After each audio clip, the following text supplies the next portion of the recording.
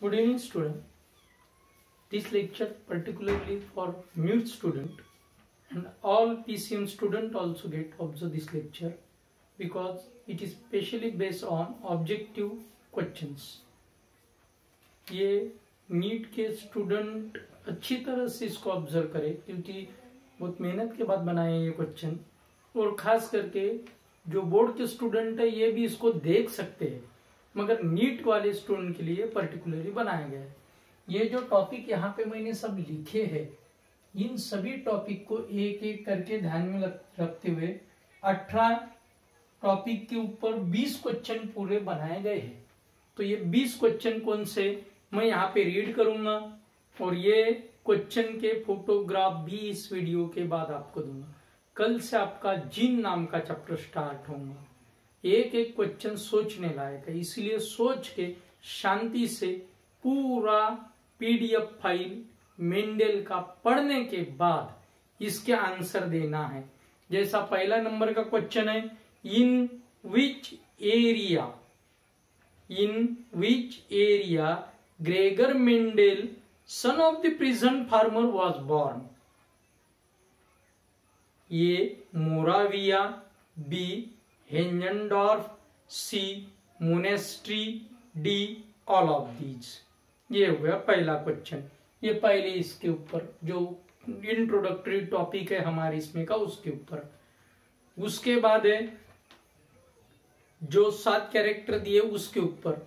Which character of P is use which character of P use in neo Mendelism use in neo Mendelism height of plant flower colour seed shape flower position height of plant B flower colour C seed shape D flower position इसके बाद इस question में Mendel के success के साथ साथ दो बातों को यूज़ किया गया है।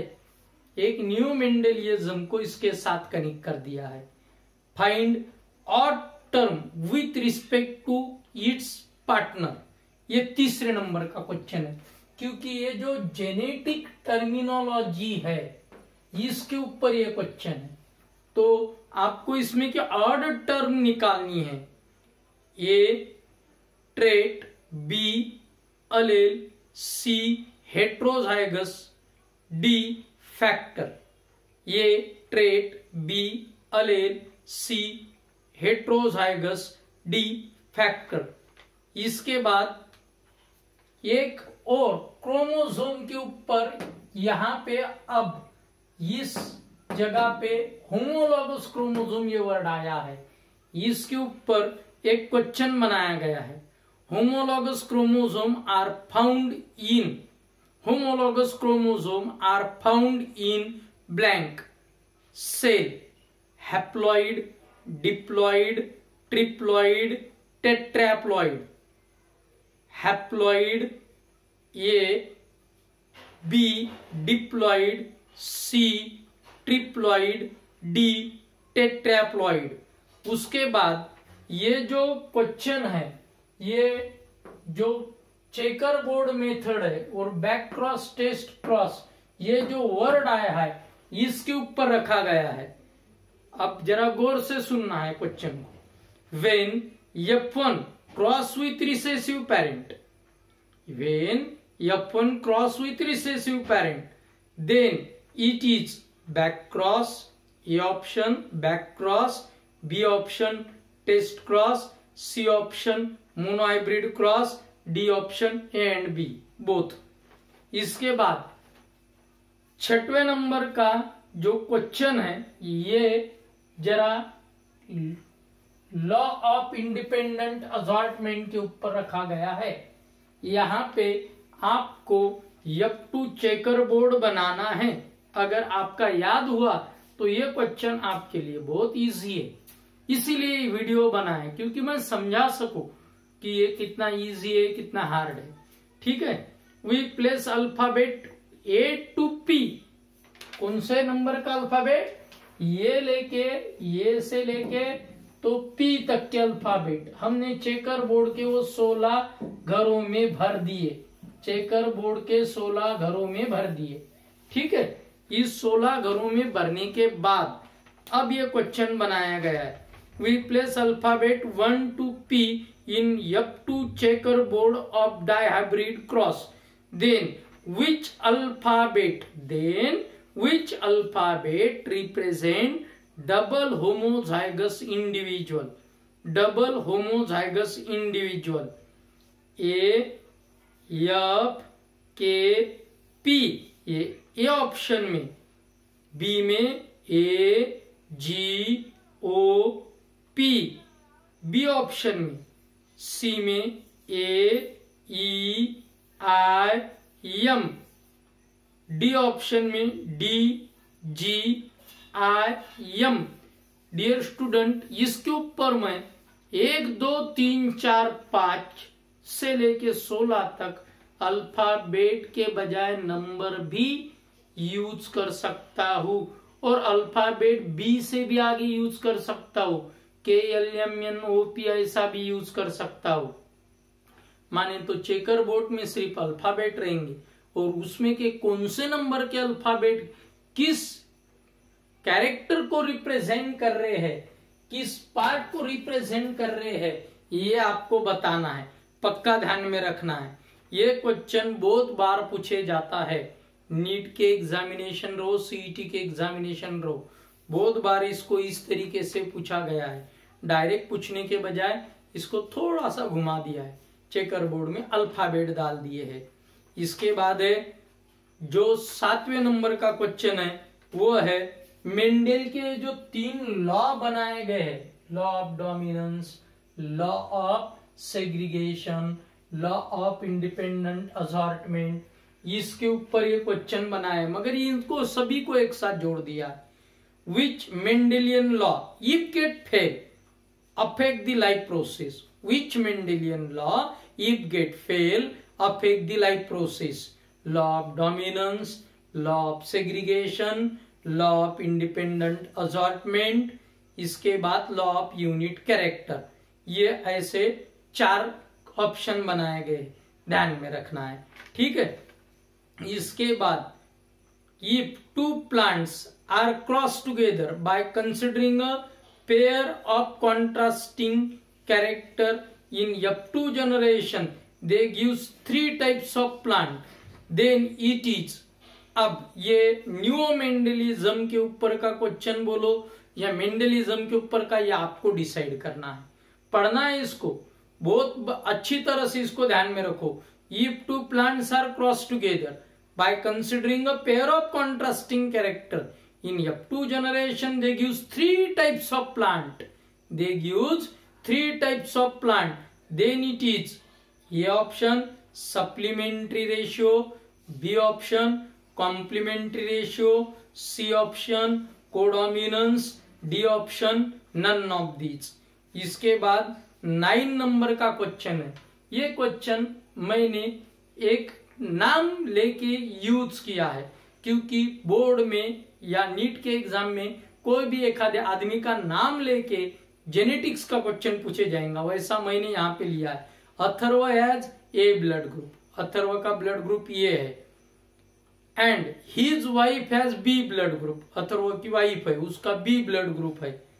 अब what will be the blood group of his son उसके बेटे का ब्लड ग्रुप क्या होगा? A option A blood group B option B blood group C option A B blood group D option A blood group B blood group A B blood group and O blood group ये सिर्फ़ alphabet लिखे, क्योंकि ये जो photograph आपको भेजूँगा, ये समझ में चाहिए, इसीलिए वीडियो बना रहा हूँ।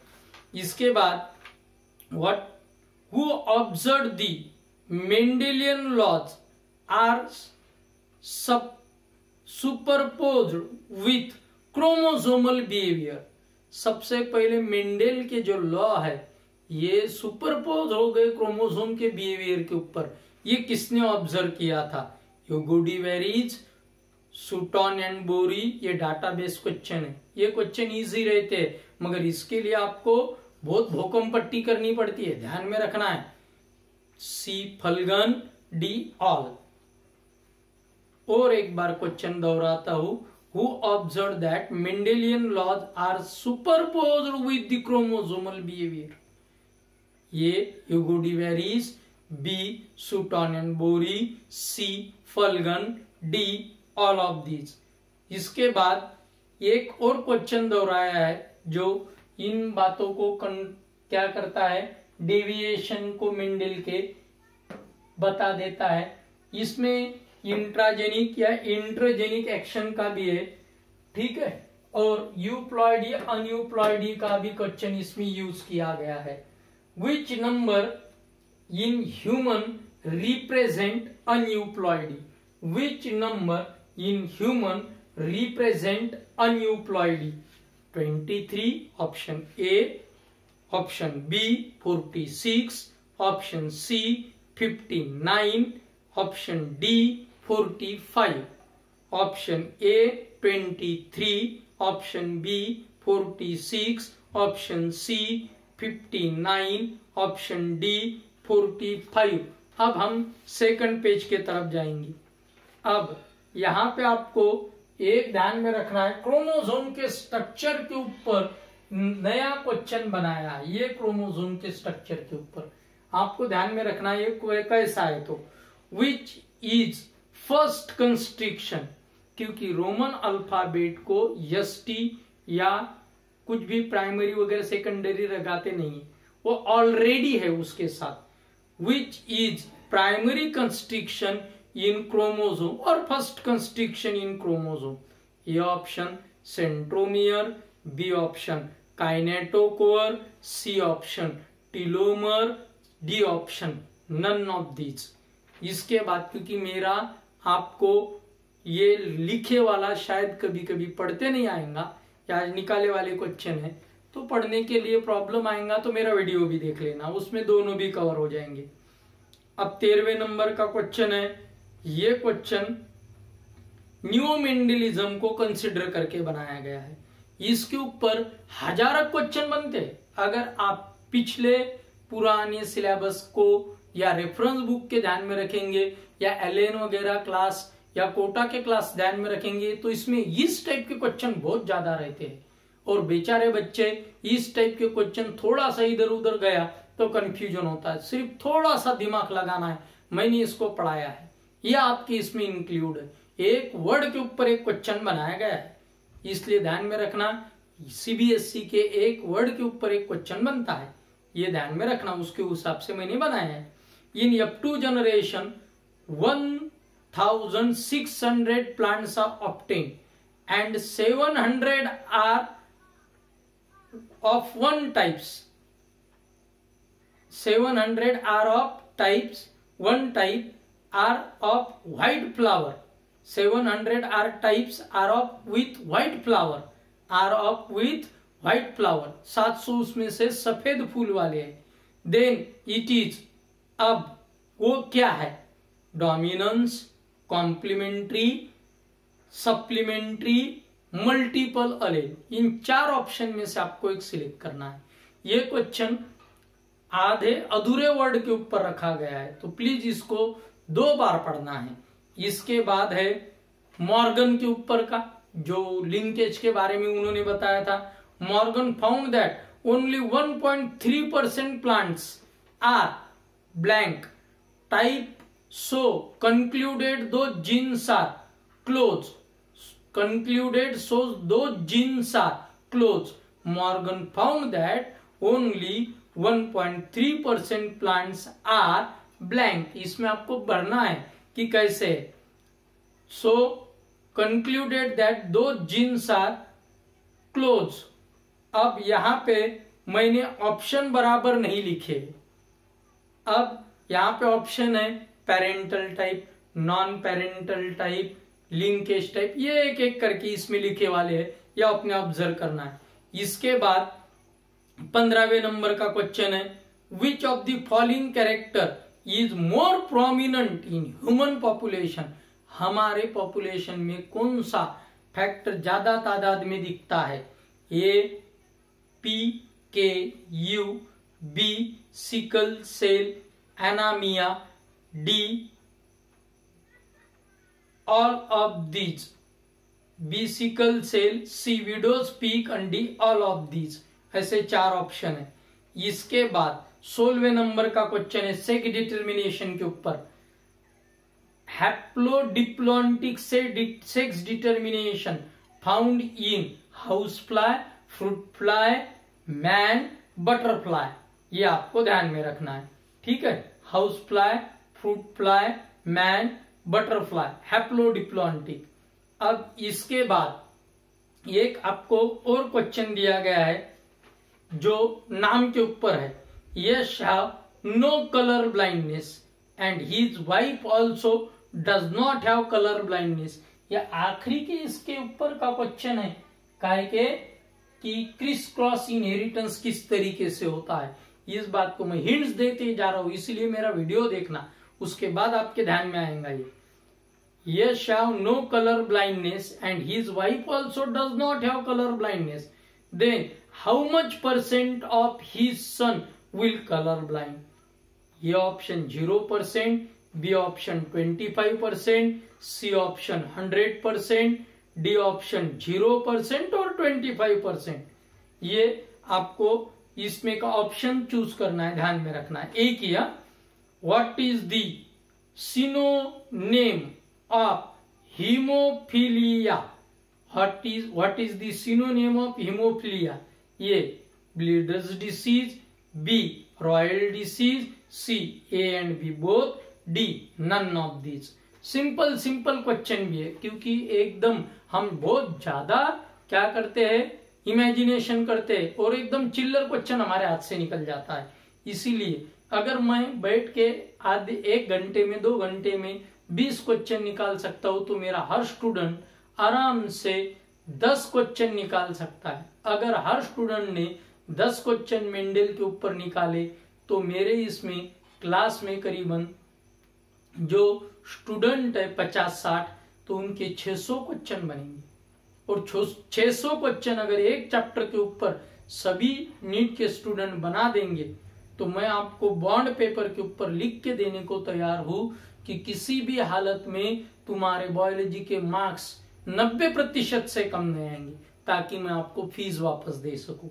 ठीक है? इसके बाद 19 नंबर का क्वेश्चन है failure of meiosis, failure of meiosis, failure of meiosis responsible for Mendelian disorder, chromosomal disorder, mutational disorder, none. ये क्वेश्चन आपको सोचना है कि अगर मियोसिस फेल होता है तो कौन सा डिसऑर्डर बनेगा? मेंडेलियन डिसऑर्डर होगा क्रोमोसोमल डिसऑर्डर होगा म्यूटेशनल डिसऑर्डर होगा, या इसमें का कुछ भी नहीं? इसके बाद आखिरी का क्वेश्चन है डिलीशन ऑफ़ वन ट्रिपलेट, माने तो एक ट्रिपलेट कायमे का? डीएनए का. मैंने स्टार्ट कर दिया बेटा जीन इस क्वेश्चन के साथ. जीन माने तो जेनेटिक बेसिस ऑफ़ इनहेरिटेंस ये चैप्टर की मैंने न्यू रख दी, उसके साथ कड़ी जोड़ दी. ठीक है? ये ध्यान में रखना है, क्योंकि इसकी कड़ी उसके साथ रहेंगी, नीट में आपने अच्छी तरह से ध्यान में रखना. इसीलिए वीडियो बनाया, नहीं तो डायरेक्ट ये क्वेश्चन मैं आपकी इसमें डाल सकता था. ठीक है? ये पक्का ध्यान में रखना है। डिलीशन ऑफ़ वन ट्रिपलेट और जीन और factor is responsible for Mendelian disorder chromosomal disorder both A and B D none of this ऐसे 20 क्वेश्चन बनाए। इसके सिर्फ़ अल्फ़ाबेट मेरे को पर्सनल नंबर के ऊपर आप सभी स्टूडेंट मैं एक एक आपके फ़ोन नंबर वाले स्टूडेंट जो है, जो नीट की इसमें रजिस्टर्ड है मेरे पास उनके सभी के नंबर है। मैं एक एक जांचूँगा कि किसने किसने मेरे को भेजा है। जिसका नहीं आएगा, उसके घर पे पक्का कल शाम तक फ़ोन आएगा, क्योंकि शाम तक आपको ये करना है। ठीक है? कल नहीं सॉरी परसों तक। परसों सुबह बराबर सुबह आठ, नौ, दस बजे के करीबन मैं फ़ोन करूँगा। इसीलिए पक्का ध्यान में रखना है, वीडियो को केयरफुली ऑब्ज़र्व करना है, इसीलिए वीडियो बनाए। अभी आपका मेंडल चैप्टर खत्म हो गया, कल से आपका जिन चैप्टर स्टार्ट होगा। Good evening.